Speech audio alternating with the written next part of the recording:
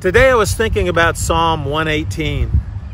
It says, This is the day the Lord has made. Let us rejoice and be glad in it. But does that mean every day? What if the day's hard? What if it's a difficult day? Should we rejoice and be glad in it?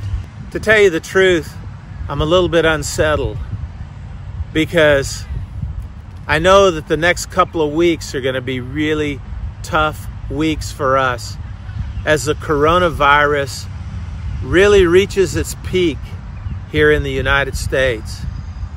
It's going to be a tough time, and I don't want that to happen. But I do want the Lord to be in charge because you know, that's totally out of my control. You know, the scripture says that we should rejoice and be happy in it. Rejoice is not like happy, happy, have fun. But rejoice is that deep sense of trust and confidence that God's in control, that we can trust Him, and that even though some very difficult, bad things are happening, He is working in those moments for us and for our good. And we can trust Him. We can trust Him. You know, our medical leaders tell us these next couple of weeks is really going to be tough. But it's no coincidence that next week is Easter week. Seven days that changed the entire history of the world, where God sent Jesus into Jerusalem.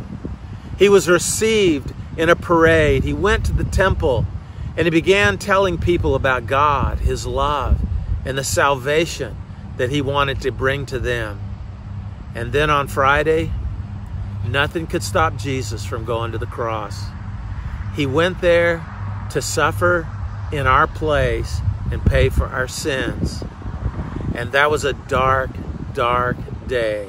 Then on Easter morning, Jesus rose, and God was telling us that now we have new life and hope for us and our future.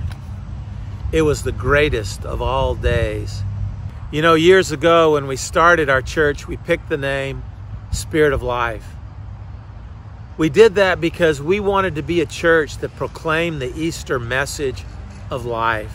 We wanted to be people who shared the encouragement and the hope of the gospel so people could be rescued from their darkness and they could live a life of light and hope and confidence because we believe that God is with us. We believe that God is in control. And we know that God has a future for us.